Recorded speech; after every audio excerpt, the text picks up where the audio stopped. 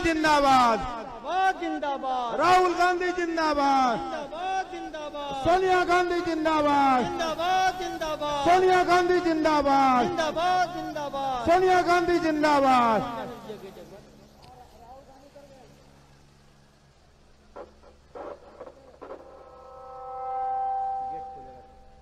हेमंत सोरेन जी ने आपको बताया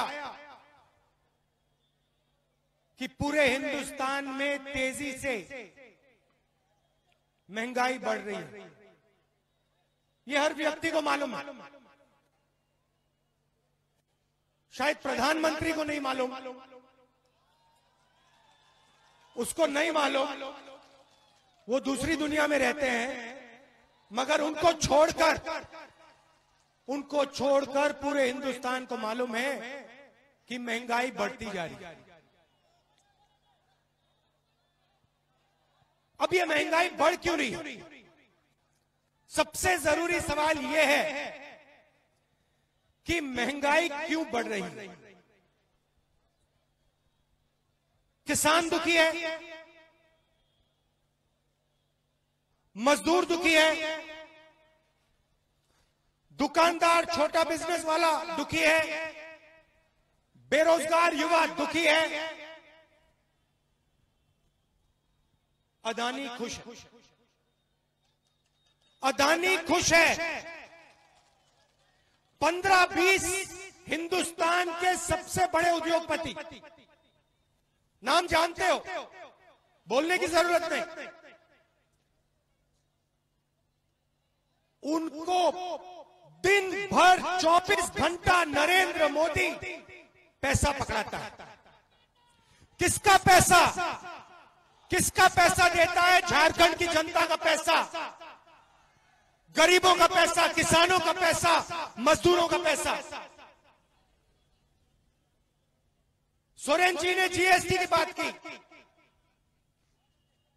जीएसटी से पहले आप याद रखिए, आठ बजे रात को टीवी पे आए थे, नरेंद्र मोदी कहा था, काले धन के खिलाफ लड़ाई लड़नी है, पाँच सौ रुपए। का नोट रद्दी करना है। और आप सबको लाइन में खड़ा कर दिया था। यहाँ एक व्यक्ति है जो लाइन में नहीं खड़ा था। कोई है यहाँ पे देखिए, बिल्कुल शांति। एक व्यक्ति नहीं था जो नहीं खड़ा था। आपको कहा काले धन के खिलाफ लड़ाई, आपके जेब में से पैसा निकाला, ये जो माताएँ बहनें आई इनके घर से पैसा निकाला। मैं आपसे पूछना चाहता हूँ, कहाँ गया वो पैसा? लाखों करोड़ रुपए गरीबों के घर से, उनके जेब से नरेंद्र मोदी ने छीन कर हिंदुस्तान के सबसे बड़े उद्योगपतियों को दिया। और आपसे कहते हैं, काले धन के खिलाफ लड़ाई। काले धन के खिलाफ लड़ाई थी तो लाइन में आपने किसी बड़े उद्योगपति को खड़ा होते हुए देखा। कोई था एक में से? नहीं। एक भी नहीं था। सब के सब अपनी ऐसी गाड़ी में चक्कर काट रहे थे। अपना काला धन सफ़ेद कर रहे थे। नरेंद्र मोदी जी ने उनको मौका दिया। उसके बाद गब्बर सिंह टैक्स। बारह बजे रात को। बारह बजे रात को गब्बर सिंह टैक्स। गब्बर सिंह टैक्स का मतलब गरीबों से पैसा छीनो और उन्हीं पंद्रह उद्योगपतियों के हवाले करो। यह है मोदी का चौबीस घंटा वो यही करते हैं। क्या फ़ायदा मिलता है? मैं बताता हूँ। आप टीवी देखते हो? देखते हो ना? मुझे एक बात बताओ। टीवी पे नरेंद्र मोदी कितने घंटे आते हैं? चौबीस घंटा। हेमंत सोरेन कितने घंटे आते हैं? नहीं दिखाई देते। मैं कितना दिखता हूँ? नहीं दिखूँगा। नरेंद्र मोदी 24 घंटे दिखेगा। अच्छा भैया, टीवी किसका है? टीवी किसका है? टीवी उन्हीं उद्योगपतियों का है, जिसको नरेंद्र मोदी दिन भर पैसा देता है। हमारा चेहरा टीवी पे क्यों दिखेगा? हम उनके लिए काम थोड़ी करते हैं। हम तो किसानों का काम करते हैं, मजदूरों का काम करते हैं, गरीबों का काम करते हैं। हमारा चेहरा टीवी पे नहीं दिखने वाला, भाइयों बहनों। उधर तो बस नरेंद्र मोदी का 24 घंटे दिखेगा। क्योंकि नरेंद्र मोदी उन्हीं 10-15 लोगों के लिए काम करता है। हम ज़मीन अधिकरण बिल लाए। पार्लियामेंट ने पास किया। नरेंद्र मोदी ने विपक्ष विरोध किया उसका। ज़मीन अधिकरण बिल क्या था? मैं आपको बताता हूँ। ज़मीन अधिकरण बिल से पहले किसी भी गरीब व्यक्ति की ज़मीन उससे एक मिनट में छीनी जा सकती थी। कोई कानून नहीं था।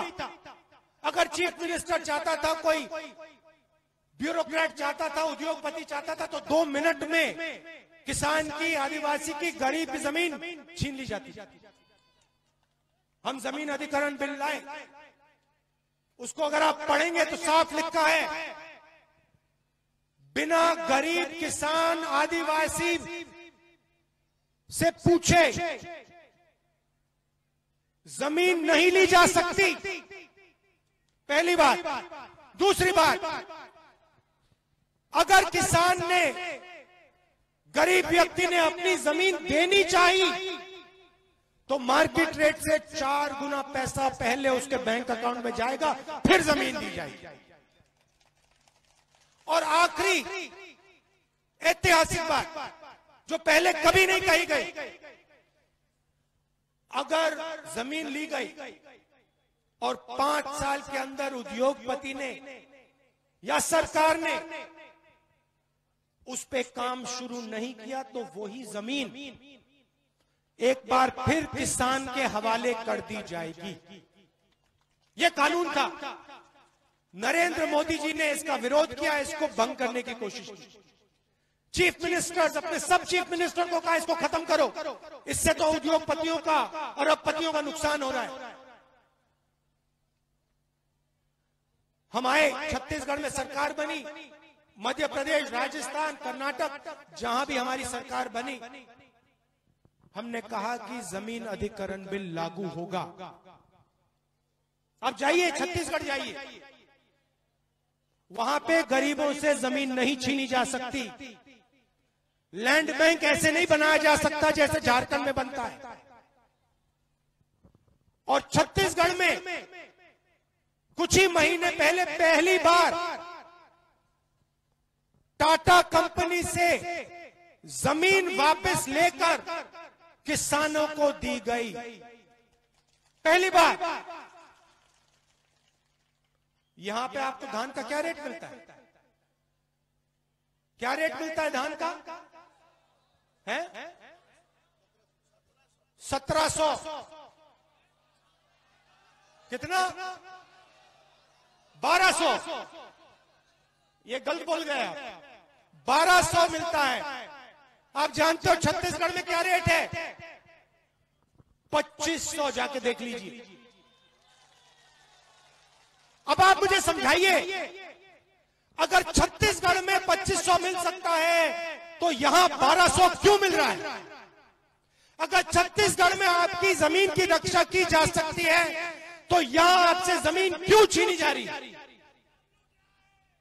क्योंकि बीजेपी और उनके उद्योगपति मित्रों की सरकार झारखंड में है।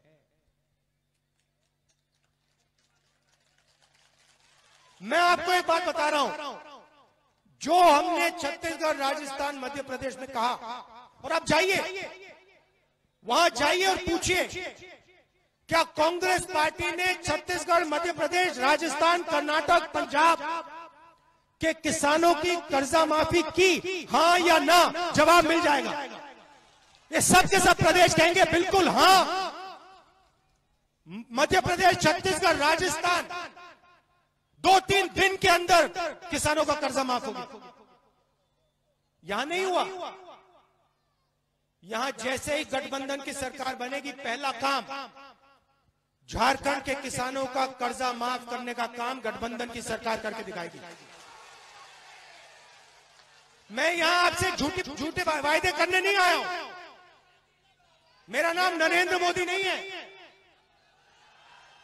मैं यहाँ झूठ बोलने नहीं आया हूँ। मैं दो करोड़ युवाओं को रोज़गार देने की बात नहीं करूँगा। मगर मैं आपको यहाँ गारंटी करके कह रहा हूँ, झारखंड के किसानों का कर्जा माफ़ होगा। अब यहाँ बहुत सारे युवा हैं। बेरोजगारी है। किसी भी युवा से पूछो, क्या करते हो? पूरे देश में, सिर्फ़ झारखंड में नहीं, पूरे देश में कहेंगे, भैया, ऐसे हाथ लगा कहेंगे कुछ नहीं करते हम। कुछ नहीं करते हम। रोज़गार कहाँ गायब हुआ यह भी मैं आपको बता देता हूँ। रोज़गार पैदा कैसे होता है पहले? रोज़गार जब पैदा होता है, जब हिंदुस्तान के गरीब लोग अपने पैसे से माल खरीदते हैं। जब गरीब व्यक्ति अपने पैसे से शर्ट, पैंट, मोबाइल फ़ोन, जूता, टूथब्रश टूथपेस्ट साबुन खरीदता है, जब वो माल खरीदता है, फैक्ट्रियों को माल बनाना पड़ता है। जब फैक्ट्रियाँ माल बनाती हैं, उन फैक्ट्रियों में देश के युवाओं को रोज़गार मिलता है। सीधी सी बात है ना? साधारण सी बात है ना, कोई मुश्किल तो नहीं है ना? ठीक है। अब नरेंद्र मोदी ने क्या किया? हिंदुस्तान के गरीब लोगों के जेब से, माताओं बहनों के जेब से, किसानों के जेब से नरेंद्र मोदी ने पूरा का पूरा पैसा निकाल दिया। नोटबंदी, गब्बर सिंह टैक्स, आपसे पैसा निकाला। शिपू सोरेन जी सॉरी हेमंत सोरेन जी ने कहा कुछ ही दिन पहले लाखों करोड़ रुपए पंद्रह उद्योगपतियों का टैक्स माफ़ किया। तो पैसा आपके जेब से निकालते हैं और अदानी, अंबानी इन लोगों के जेब में डालते हैं। आपके जेब में से पैसा निकाल दिया। नहीं, सुनिए, बात आपको समझनी पड़ेगी। नुकसान आपका हो रहा है। आपके जेब में से पैसा निकाला। जैसे ही आपके जेब में से पैसा निकाला, किसान के जेब में से पैसा निकाला। वैसे ही गरीबों ने माल खरीदना बंद किया। शर्ट, पैंट, जूता, साबुन, जो पहले खरीदते थे, खरीदना बंद किया।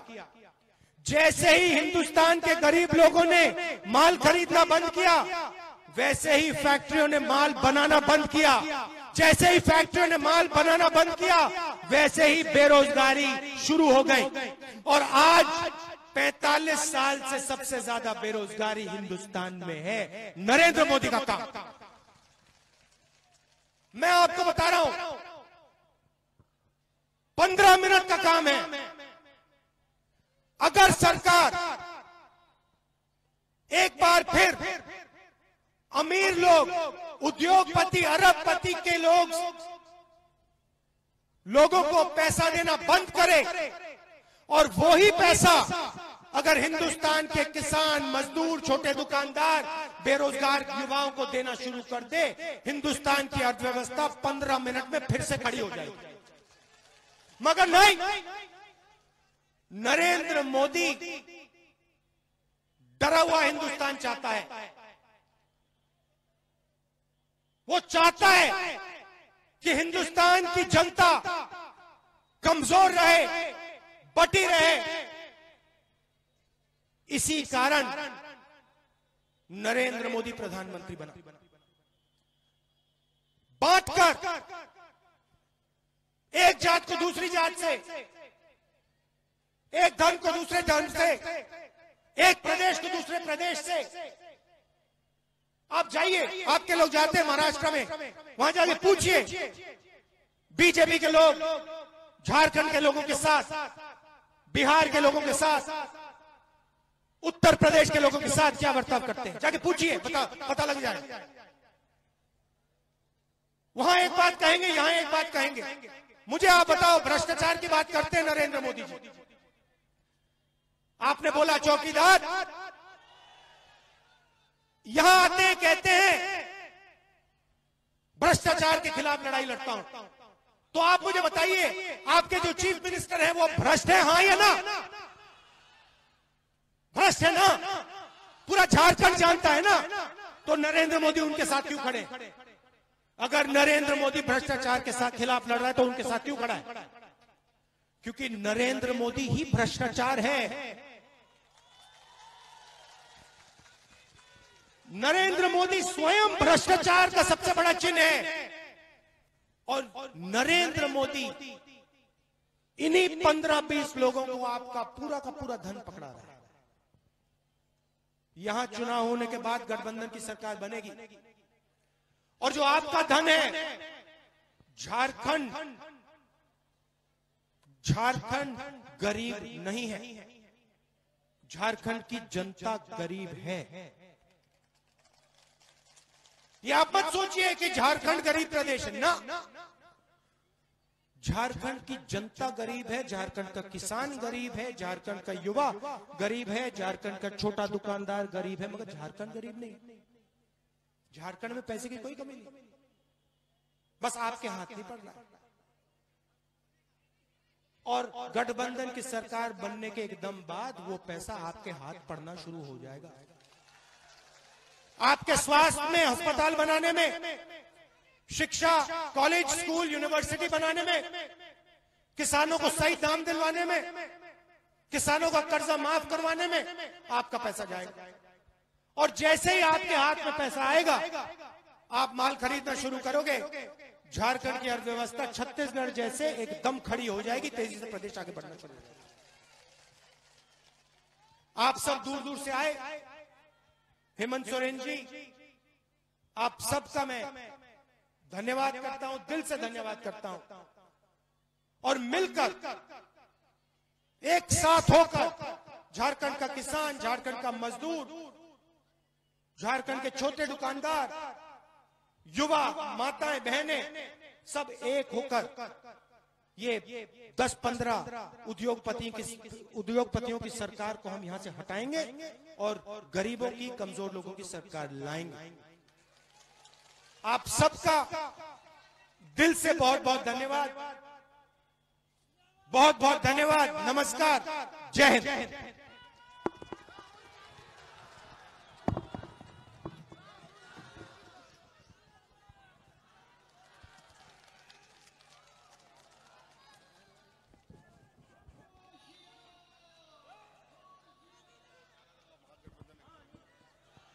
राहुल गांधी जिंदाबाद। ज़ोर से बोले। राहुल गांधी जिंदाबाद। राहुल गांधी जिंदाबाद। हेमंत सोरेन जिंदाबाद। हेमंत सोरेन जिंदाबाद। हेमंत सोरेन जिंदाबाद। सोनिया गांधी जिंदाबाद। वीर सीबू जिंदाबाद। कुतुबुद्दीन शेख जिंदाबाद। किताबुद्दीन शेख जिंदाबाद।